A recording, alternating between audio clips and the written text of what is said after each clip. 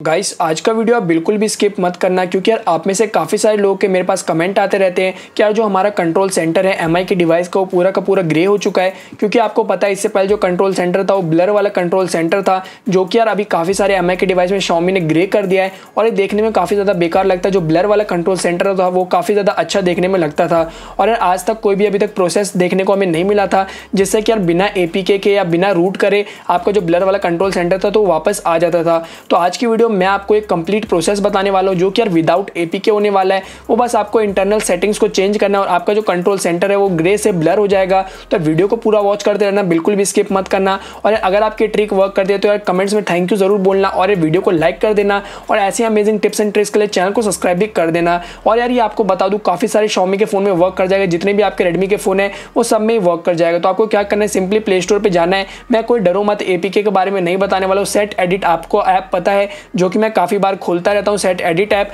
जो कि यार एमआईयूआई के आपको हिडन सेटिंग दिखाती है तो आपको सेट एडिट सर्च करना है, आपको सबसे पहले सेट एडिट मिल जाएगा। ये सिर्फ़ नाइन्टी फाइव का ऐप है, आपको इसको ओपन कर लेना है। जैसे ही इस ऐप को आप ओपन करोगे तो आपको इतनी सारी चीज़ें दिखेगी तो आपको थोड़ा नीचे स्क्रॉल डाउन करना है। आपको जैसे ही स्क्रॉल डाउन करोगे तो यहाँ पर आपको डिवाइस लेवल लिस्ट देखने को मिल जाएगा। देख सकते हो डिवाइस लेवल लिस्ट यहाँ पर लिखा हुआ है, आप सही से इसे पढ़ लो। अगर आपके डिवाइस में शो नहीं कर रहा है डिवाइस लेवल लिस्ट तो आपको क्या करना है? बाय इनकेस अगर आपका शो नहीं करना है, क्योंकि 99% तो शो करेगा, पर बाय इनकेस आपका ये डिवाइस लेवल लिस्ट शो नहीं कर रहा है तो आपको यहाँ पे न्यू सेटिंग पे जाना है और यहाँ पे आपको टाइप कर देना न्यू सेटिंग में डिवाइस लेवल लिस्ट जो इसमें स्पेलिंग लिखी हुई है। देख सकते हो आप इसकी स्पेलिंग क्या लिखी हुई है यहाँ पे डिवाइस लेवल लिस्ट की। मैं आपको यहाँ से सही से रीड करा देता हूँ। देख सकते हो ये आपको सेम टू सेम यही स्पेलिंग लिखनी है, जैसे कैपिटल लिखा वैसे ही कैपिटल और जितना स्मॉल लिखा है उतना स्मॉल तो आप इसकी वैल्यूज़ यहाँ पे देख सकते हो वी वन सी वन और जी वन लिखा हुआ है। तो आपको इस पर क्लिक करना है डिवाइस लेवल लिस्ट पे, और यहाँ पे आपको एक एडिट वैल्यू का ऑप्शन मिल जाएगा। तो एडिट वैल्यू के ऑप्शन पे जाना है और आपको यहाँ पे क्या करना है, देख सकते हो V one C one G one है।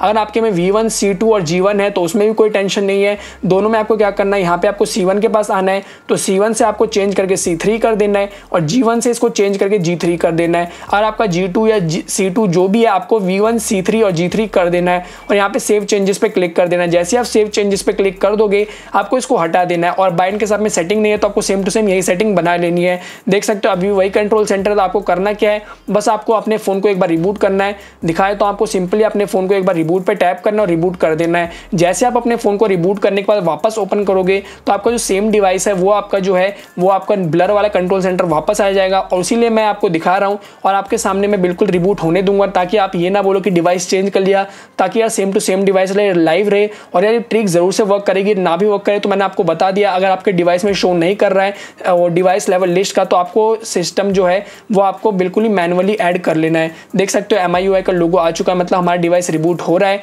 तो इसे रिबूट होने देते हैं, तब तक आप वीडियो को लाइक कर दो अगर पसंद आ रही है तो। तो जल्दी से मैं अनकट वीडियो बना रहा हूँ इसी वजह से। तो देख सकते हो, हमारा डिवाइस खुल चुका है, इसे थोड़ा और ओपन होने देते हैं।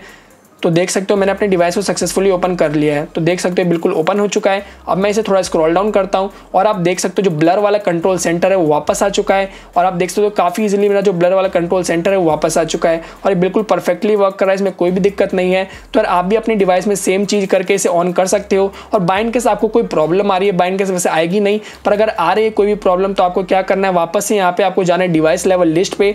यहाँ पे यहाँ पे डिवाइस लेवल लिस्ट देख सकते हो और यहाँ पे एडिट वैल्यू पे जाना है और फिर से आपको वी वन सी वन और जी वन कर देना है और सेव चेंजेस पे क्लिक कर देना है, जैसे V one C three G three है तो आपको सी वन जी वन कर देना है वापस से और वापस से आपको अपने इसको बैक करना है और आपको फ़ोन को रिबूट कर देना है तो आपका जो ग्रे वाला कंट्रोल सेंटर था वो वापस आ जाएगा। फिर अगर आपको कोई दिक्कत आती है, तभी करना, अगर बाइंड केस कोई दिक्कत आती है तो पर मेरे हिसाब से इसमें कोई भी दिक्कत नहीं आएगी। तो वीडियो आपको अगर पसंद आती है, अगर आप ट्रिक वर्क करें लाइक कर देना और यार वीडियो यहीं तक की थी। थैंक यू गाइस हमारी वीडियो देखने के लिए।